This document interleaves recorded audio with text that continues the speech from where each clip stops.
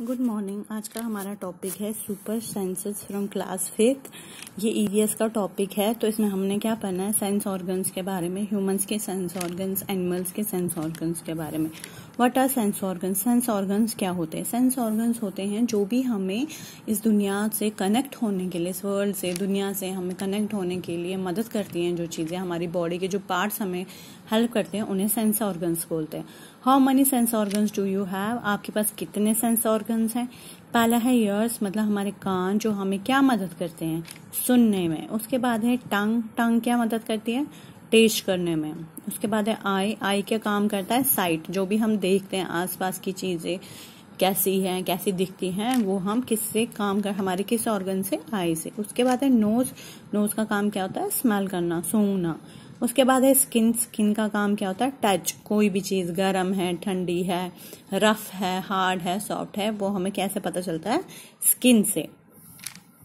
Animals also have sense organs and their sense organs are super strong कहते हैं, जो हमारे सेंस ऑर्गन्स होते हैं, वो भी ये, क्या बोलते हैं, वो भी हेल्प करते हैं चीज़ों को देखने में, महसूस करने में। बट जो एनिमल्स के सेंस ऑर्गन्स होते हैं, वो ह्यूमंस के कंपैरिजन में ज़्यादा स्ट्रॉन्ग होते हैं।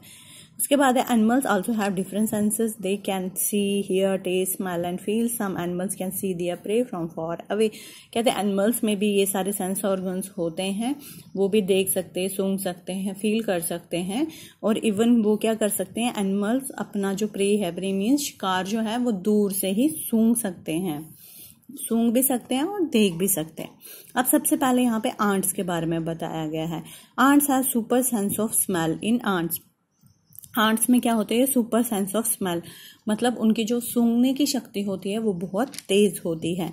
अब यहाँ पे एक स्टोरी दी गई है an ant was going along on the ground it saw a group of ants coming from the other side the first ant quickly came back to its hole the ant guarding the hole recognise it and let in कहते हैं कि ये क्या story सुनाते हैं? एक aunt होती है, वो अपने होल से निकलकर बाहर जाती है। जैसे ही वो बाहर जाती है तो वहाँ से एक झुंड आता है आंट्स का। तो वो क्या काम करते हैं? वो जैसे ही झूठ देखती है आंट्स की तो वो उनमें मिक्स हो जाती है, वो फिर वो क्या करती है, उन आंट्स की झुंड से निकल के जल्दी जल्दी अपने होल की तरफ़ जाती है। वहाँ पे जो होल को मतलब गार्ड कर रहा होता है, जैसे हमारे घर के बाहर चौकीदार होते हैं या स्कूल में चौकीदार होते हैं, उनको स्कूल की जो प्रॉपर्टी है, उसको प्रोटेक्ट करने के लिए वैसे होल के बाहर एक चींटी थी गार्ड कर रही थी अपने होल को तो उसने इस चींटी को जल्दी जल्दी आने दिया।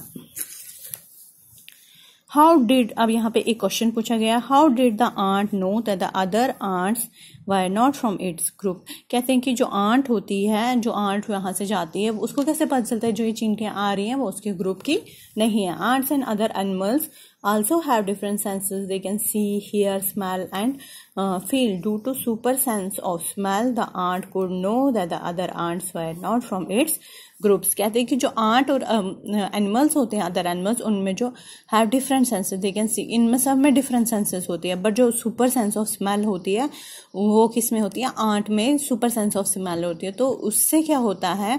द आंट को know that the other ants were not from its group इस सुपर सेंस की वजह से सुपर स्मेल की वजह से एक आंट को पता चलता है कि जो बाकी आंट्स आ रही हैं, वो उसके ग्रुप की नहीं है। वो देखकर नहीं बता सकती है, क्योंकि देखकर वो सारी चींटियाँ एक जैसी दिखती हैं। वो सूंघने से एक दूसरे की खुशबू से पता करती हैं कि ये आंट हमारे ग्रुप की नहीं है। आज हमने इतना सा थोड़ा सा टॉपिक इसका डिस्कस किया। कल इस जो मैंने आपको ये आंट वाली स्टोरी सुनाई, इस आठ वाली स्टोरी के बाद हमें ये क्वेश्चन ये, इसका ये क्वेश्चन था। कल हम एक एक्सपेरिमेंट करेंगे छोटा सा तो उसके ऊपर फिर हम ये क्वेश्चंस करेंगे। हम कल डिस्कस करेंगे। आज इतना ही। Thank you